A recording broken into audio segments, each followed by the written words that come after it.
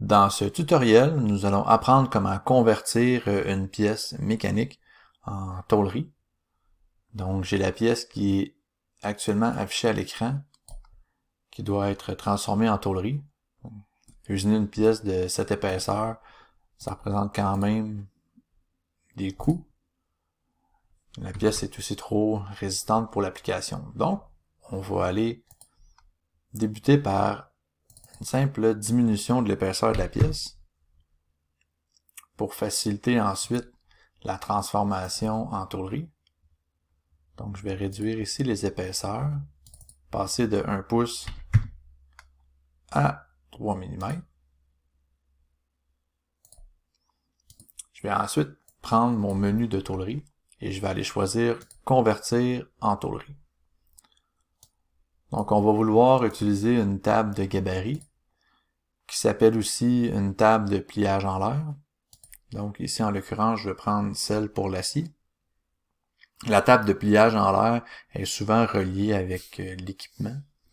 Ça nous permet de déterminer quels sont les rayons de pliage adéquats en fonction du matériau et de l'épaisseur de celui-ci.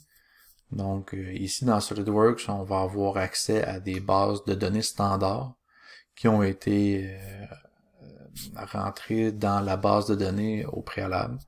Donc, on peut voir que ça prend un petit peu de temps.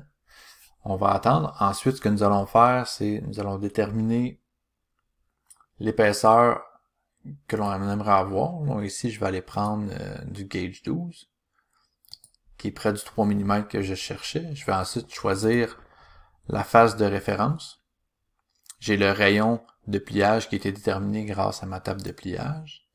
Ensuite, la fonction répertorier tous les plis permet de savoir à quel endroit on va plier la tôle. On pourrait le faire aussi manuellement. Et finalement, on va avoir euh, le type de recouvrement pour les plis. Là, ici, on va faire quart-quart.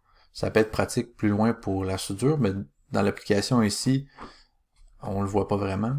Ensuite, le type de calcul de pliage, bon, on a euh, le facteur K, zone de pliage, calcul du pli, zone de pliage. Donc ça, c'est perte au pli. Donc ça, c'est des choses qu'on va voir dans d'autres vidéos. Et le type de grugeage, euh, on va choisir rectangulaire automatique. Donc quand il va découper ici, ça va faire une coupe rectangulaire. Donc je vais accepter. Je vais laisser le temps à SolidWorks de générer la nouvelle pièce de tôlerie. comme on peut voir ici, la pièce a été générée je peux aller un peu plus bas dans état déplié. Là, je vais lui demander de m'afficher la tôle dépliée.